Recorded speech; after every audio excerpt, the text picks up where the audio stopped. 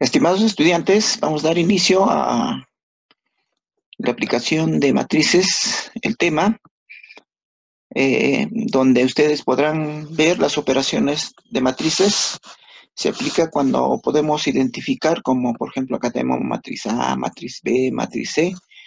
Eh, ya la columna y las filas pues tienen un significado, como por ejemplo la columna aquí 1 significa concreto, columna 2, madera, columna 3, acero, mientras las filas, 1, por ejemplo, costo de material, la fila 2, costo de transporte. Entonces, cada elemento de una matriz tiene un significado. Por lo tanto, a ello le decimos aplicación de matrices. Eso quiere decir de que ahora nosotros vamos a utilizar la aplicación de matrices, por ejemplo, en este caso para productos de tomates enlatados. Vamos a dar lectura al enunciado. Dice, una fábrica produce salsa de tomate y pasta de tomate, enlatados en latas pequeñas, medianas e incluso grandes y gigantes. La matriz A da el tamaño en onzas de cada recipiente. Como, como pueden observar aquí, la matriz A es una matriz fila, entonces, la columna está determinada por los tamaños de las latas, ¿no? Pequeñas, medianas, grandes, gigantes. Mientras las filas dice las onzas. Entonces, podemos interpretar, por ejemplo, que la lata pequeña es de 6 onzas, ¿no? Mientras que la lata gigante es de 28 onzas. Asimismo, da un dato de la matriz B, donde tabula la producción de un día de salsa de tomate y pasta de tomate. Entonces, esta matriz B, ¿qué quiere decir? Que por ejemplo, 2000 eh, son latas pequeñas de salsa de tomate. 2500 son latas pequeñas eh, de pasta de tomate. Entonces, aquí nosotros tenemos que hacer algunas operaciones e interpretar, ¿no? Filas, columnas. Por lo tanto, nos solicitan calcular el producto de A por B. Tenemos que multiplicar la matriz A por B. Luego nos dice interprete los elementos de la matriz producto A por B. Por lo tanto, aquí necesita tener mucho cuidado. No solamente hacer las operaciones, sino también eh, tener cuidado en lo que significan las filas y columnas. Por lo tanto, vamos a dar solución al cálculo del producto de A por B.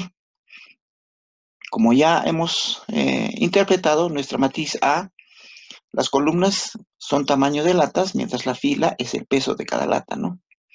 Asimismo, nuestra matriz B ya le damos significado, ¿no? Las columnas significa productos de tomate, ¿no? Mientras las filas son tamaño de latas.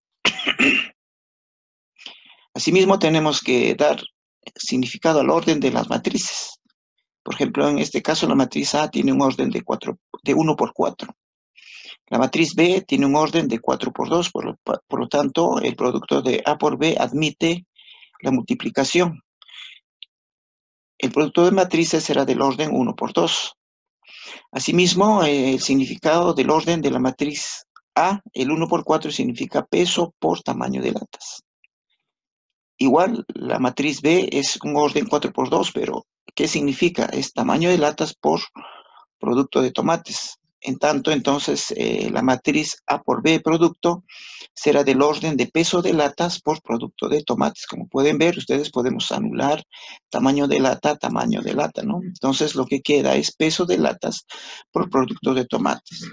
Muy bien, efectuando las operaciones de la matriz A, fila, por la matriz B, 4 em, por 2, generamos una matriz A por B, 1 por 2, entonces la multiplicación nos sale pues en, la fila 1, columna 1, un número, ¿no? En este caso 105.000. Y la fila 1, columna 2, 58.000. Por lo tanto, hay que dar un significado, ¿no?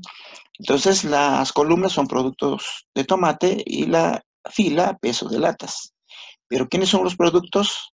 Son latas de salsa de tomate y latas de pasta de tomate y las filas representa peso. Entonces, ya hemos dado solución al producto de A por B en la matriz producto A por B, entonces queda por esta parte eh, calculada. Ahora nos estaría faltando interpretar. B, interpretar los elementos de la matriz producto. Entonces, eh, como ustedes pueden ver, aquí tenemos nuestra matriz producto ya identificados, ¿no? Entonces, nosotros este elemento 105.000 y 58.000 vamos a interpretar. Entonces, diríamos que 105.000 onzas representa, pues, eh, en latas un peso, ¿no? De 105.000 onzas o peso de 58.000 onzas de pasta de tomate en todas las latas de diferente tamaño. Entonces, ya nosotros tenemos un resultado. Por lo tanto, en aplicación de matrices, eso es lo que tenemos que tener mucho cuidado, estimados estudiantes. La identificación de los elementos, la identificación de las filas y la identificación de las columnas. Muchas gracias por la atención prestada.